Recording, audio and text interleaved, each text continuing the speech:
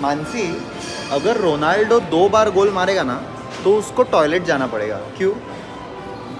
Toilet जाना पड़ेगा। Because he will do so and so so so so.